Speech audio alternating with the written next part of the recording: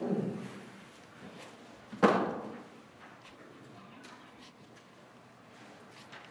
thank you, everyone. We're coming out of executive session. Any items of business coming out of executive session? Nothing. Thank you. Uh, Next item on the agenda is the announcement of the next board meeting. The next board meeting is Monday, November 9th, 8:30 a.m., and we are going to visit Holbrook Hollows,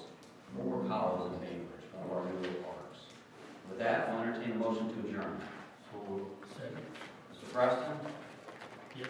Mr. Dyerly? Yes. Mr. Incenzi? Yes. Mr. Bates? Yes. All right, thank you, gentlemen.